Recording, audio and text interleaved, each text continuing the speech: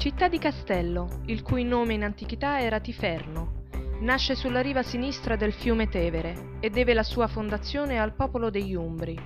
Nel territorio sulla riva opposta si trovavano invece gli Etruschi, con cui vi erano scambi commerciali, ed il corso d'acqua fungeva da confine naturale. È qui che ogni anno ha inizio la discesa internazionale del Tevere, che vede un elevato numero di canoisti cimentarsi in un percorso che in varie tappe li porterà fino alla capitale.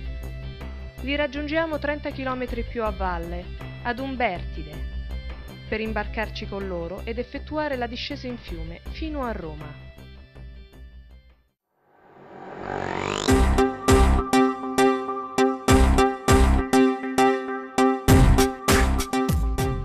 Le canoe canadesi sono un ottimo supporto per percorsi di questo tipo e permettono di effettuare il tragitto con una notevole capacità di carico, cosa che risulta particolarmente utile nel trasportare le attrezzature necessarie per le riprese.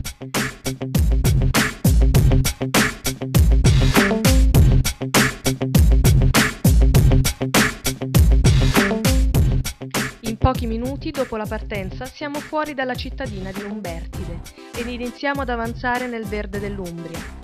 Quasi subito però si presenta di fronte a noi il primo ostacolo che ci costringe ad uscire dall'acqua. Il trasbordo non è semplice e bisogna aiutarsi con delle corde per tirare a secco le imbarcazioni. Intanto a valle il fiume inizia a colorarsi di canoe ed in breve siamo pronti per ripartire. Nella giornata di oggi una delle maggiori difficoltà è rappresentata dalla lunghezza del percorso, che si aggira intorno ai 27 km ed i tratti con piccole rapide, oltre ad essere divertenti, rappresentano un gradito aiuto per avanzare più velocemente e con meno fatica.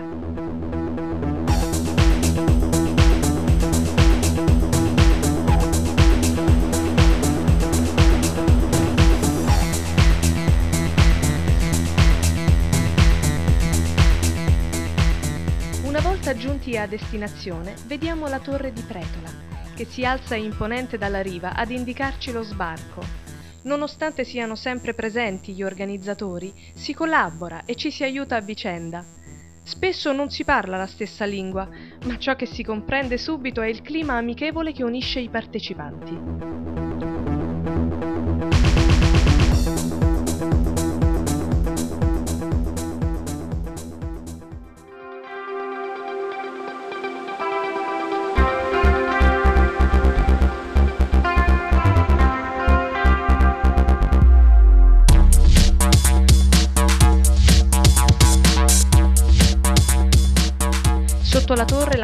Seguente sono tutti indaffarati a preparare le proprie imbarcazioni, in quanto passeremo gran parte della giornata in fiume ed è bene non dimenticare nulla. Così, uno dopo l'altro, scivoliamo nelle acque calme del Tevere, mentre il tempo sembra assisterci con una bella giornata di sole.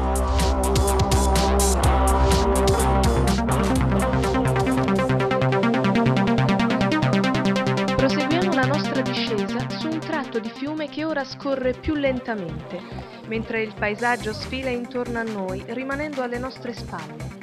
Il silenzio della natura è interrotto solo dal rumore delle nostre pagaie che si immergono in acqua. Dopo qualche chilometro raggiungiamo un viadotto, segno che siamo arrivati ad un altro sbarramento dove sarà necessario passare via terra. Non è mai piacevole trasbordare per portarsi dietro una canoa lungo la riva, soprattutto quando è equipaggiata con diverso materiale necessario a passare una giornata in fiume.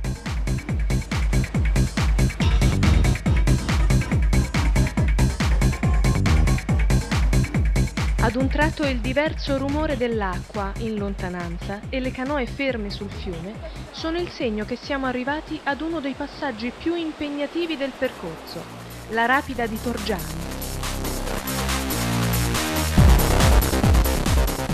Nonostante sia possibile aggirarla da terra, molti canoisti decidono di affrontare il passaggio e qualcuno paga il suo tributo al fiume.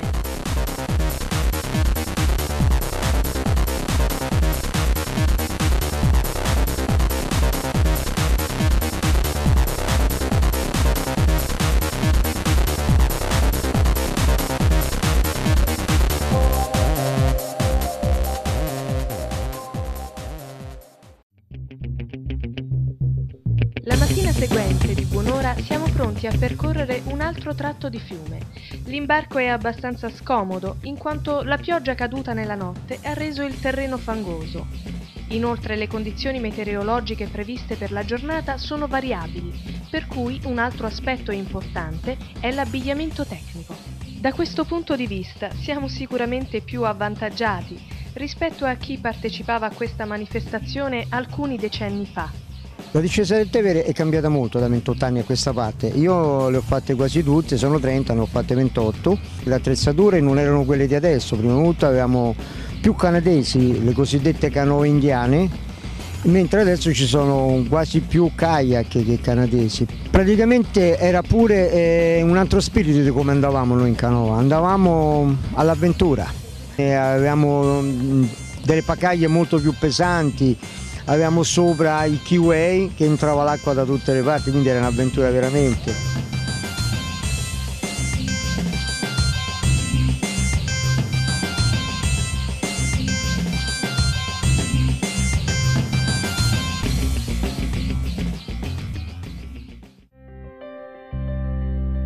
Il punto in cui sbarcheremo si trova in prossimità di Monte Castello di Vibbio, un borgo caratteristico ed immerso nel verde, da cui si può ammirare il suggestivo paesaggio sottostante.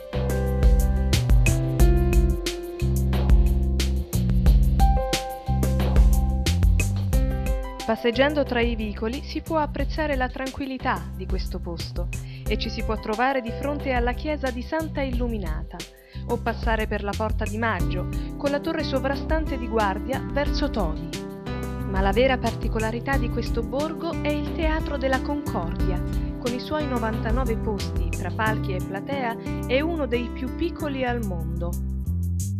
Fu inaugurato nel 1808 ed è tuttora funzionante. Esso rispecchia un vero e proprio teatro in miniatura, con la pianta a campana ed i palchi sorretti da colonne interamente in legno. L'interno dell'edificio è decorato con numerosi affreschi risalenti al 1892 e ad opera di Luigi Agretti, un giovane venuto dalla Spezia che arricchì con la sua arte questo teatro all'età di soli 14 anni.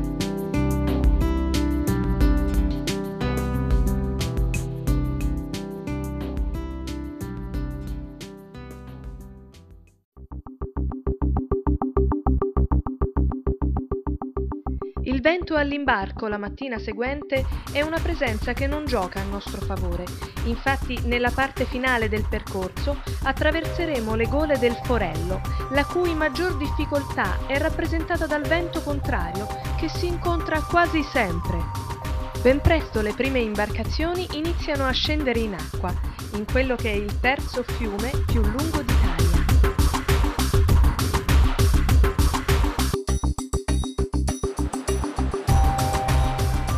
Dopo la partenza, la nostra avanzata viene interrotta da uno scivolo artificiale. Siamo così costretti ad effettuare un trasbordo. La manovra comporterà una buona perdita di tempo, principalmente per l'imbarco di piccole dimensioni, che permetterà di rientrare in acqua ad uno-due canoisti per volta.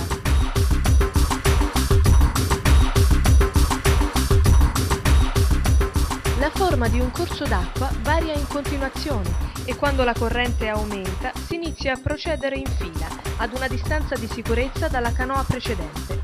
In fiume, infatti, lo sguardo vicino al livello dell'acqua non permette di avere una buona visuale. L'osservazione di chi abbiamo davanti diventa quindi un aiuto per valutare la traiettoria migliore da seguire. Nei passaggi più impegnativi invece si organizza un'ulteriore assistenza da terra, cosa che sarà necessaria alla rapida di Ponte Cuti.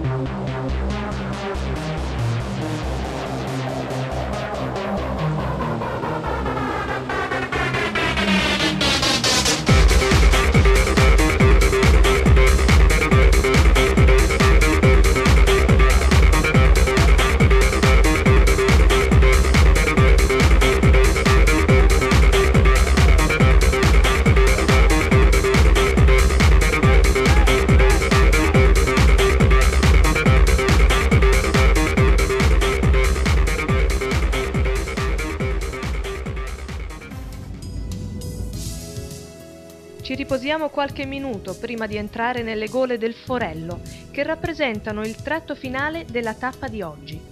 Qui il vento soffia con un'intensità tale da formare onde contrarie alla direzione della corrente e smettere di pagaiare significherebbe essere riportati indietro. Ci avviamo così alla conclusione della giornata, immersi in un paesaggio suggestivo che faticosamente abbiamo il privilegio di attraversare.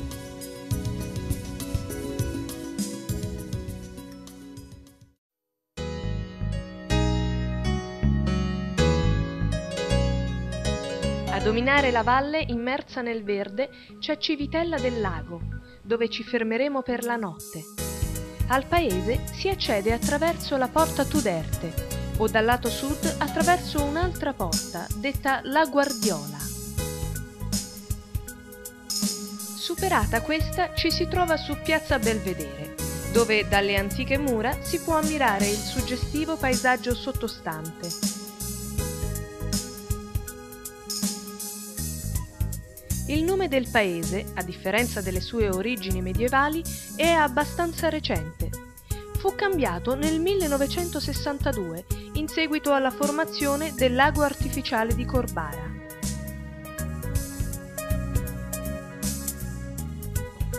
Durante la nostra permanenza abbiamo modo di apprezzare un'antica tradizione contadina, la decorazione delle uova durante il periodo pasquale. Essa è tenuta viva a Civitella del Lago con la mostra concorso dell'Ovo Pinto ed un relativo museo.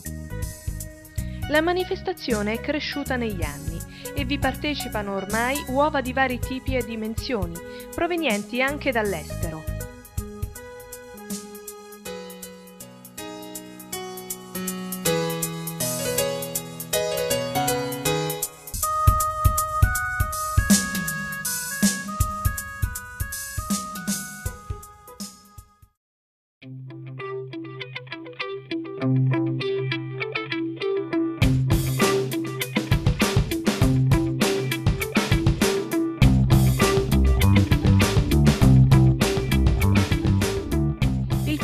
Giorno di discesa ci imbarchiamo per effettuare un percorso breve ma molto suggestivo all'interno della riserva naturale Tevere Farfa, in prossimità del paese di Nazzano. Ormai le tappe più impegnative sono alle nostre spalle e possiamo goderci queste due giornate finali con maggiore relax. L'aspetto del fiume in questo tratto è dovuto alla costruzione negli anni 50 di una diga, che fece innalzare il livello dell'acqua invadendo i terreni circostanti. L'ambiente lacustre formatosi ha creato così un habitat favorevole per molte specie di piante ed animali, tra cui aironi, nitticore, germani reali o gallinelle d'acqua, ma anche rapaci come il falco di palude o il falco pescatore e molti altri. Per preservare la tranquillità della fauna passeremo lontani dalla sponda più popolata d'animali, quella alla nostra sinistra.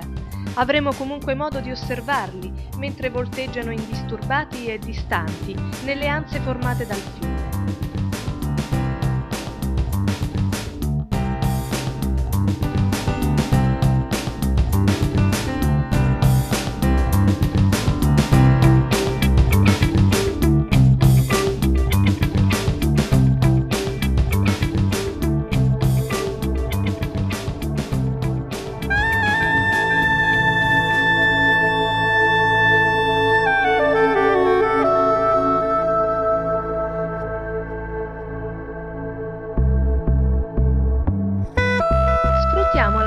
Parte della giornata per un'escursione turistica nel paese di Nazzano.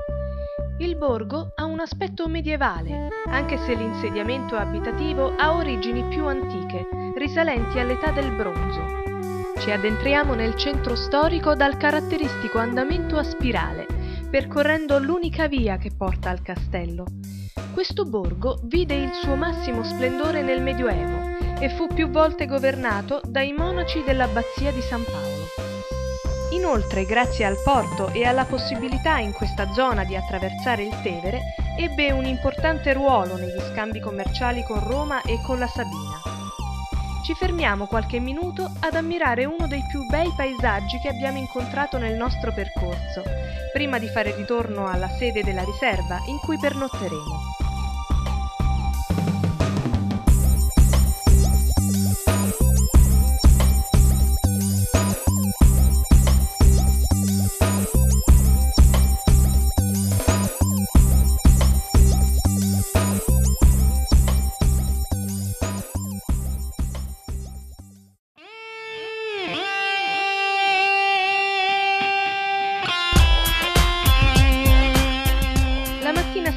Arriviamo con i nostri mezzi alle porte di Roma, settima ed ultima tappa della discesa del Tevere.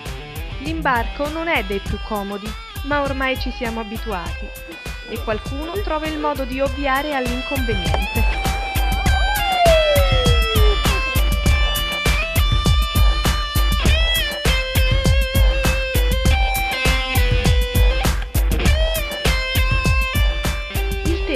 Raggiunto ora grandi dimensioni, all'altezza della città che sta per attraversare e che ad esso ha legato il suo destino. Questo infatti è il fiume che ha fornito, grazie alla sua navigabilità, un'importante via di comunicazione per gli scambi commerciali, o che ha nutrito i romani grazie alla pesca e fatto girare le macine dei mulini galleggianti in seguito alla distruzione degli acquedotti da parte dei Goti. Di grande importanza erano anche i ponti, permettevano di collegare una parte della città all'altra. Ed è proprio uno di questi ad indicarci l'arrivo nella capitale, mostrandosi di fronte a noi in tutta la sua imponenza.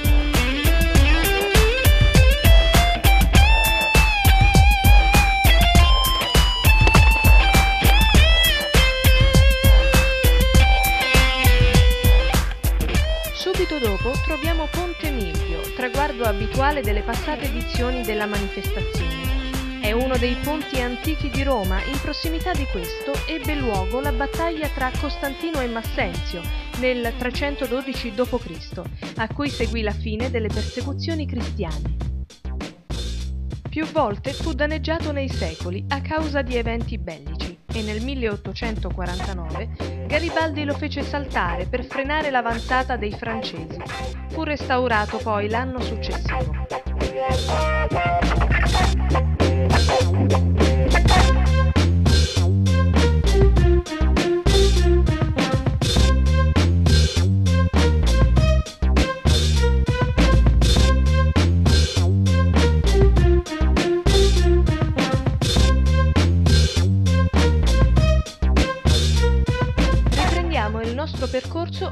Attraverso la capitale su quel fiume amato e odiato dai romani. Esso infatti, se da una parte era utile alla città per i numerosi utilizzi che se ne facevano, dall'altra presentava un prezzo a volte alto da pagare, a causa dell'elevata escursione idrica durante le piene che provocavano dannose inondazioni. Questo è uno dei motivi per cui i primi insediamenti si trovavano sui colli e non vicino al corso d'acqua, e fu uno dei problemi che per secoli i romani dovettero fronteggiare. Ancora oggi la città porta i segni delle nefaste alluvioni, come le lastre di marmo che indicano il livello raggiunto dalle acque, o la fontana della barcaccia a Piazza di Spagna, a ricordo di una barca portata lì dalla piena del 1598. Gli attuali argini, formati da alti muraglioni che risolsero definitivamente il problema, furono progettati dopo l'Unità d'Italia, in seguito alla piena del 1870, anno in cui l'idrometro arrivò a superare i 17 metri.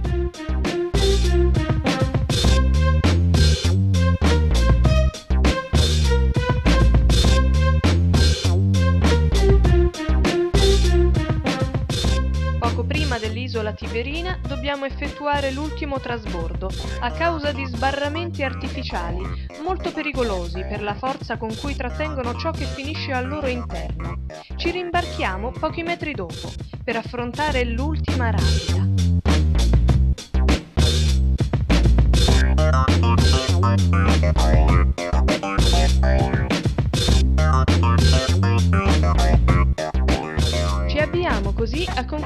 Nostra discesa, passando sotto uno dei ponti più antichi della città, Ponte Fabricio, che da più di duemila anni collega l'isola con la terraferma. E salutiamo Roma, oltrepassando ciò che resta del suo primo ponte in muratura. Ponte Rotto o Ponte Emilio, danneggiato e ricostruito più volte fino alla piena del 1598.